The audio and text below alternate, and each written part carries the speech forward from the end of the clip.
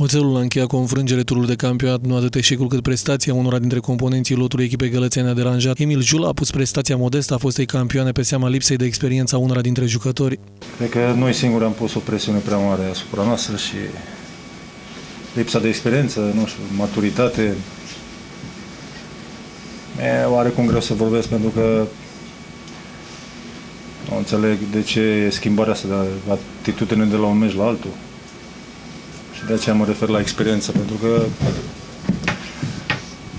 unii jucători poate nu sunt uh, obișnuiți să joace sub presiune, meci de meci.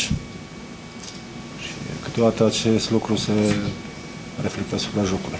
Jula așteaptă ca pauza de iarnă să fie benefică pentru fosta campioană, atacantul Oțelului, crede că echipa de la Dunăre va arăta altfel în primăvară. Mai avem un meci, meciul de cupă.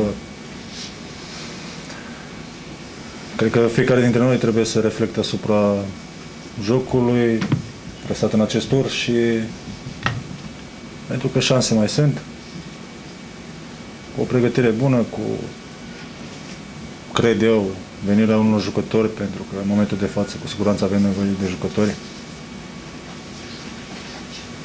Acum, o pregătire bună, două cantonamente, să ne jucăm ultima șansă. Oțelul poate încheia anul cu o victorie. Echipa gălățeană vrea să câștige meciul din sferturile Cupei Ligii pentru a băga în visteria clubului 50.000 de euro.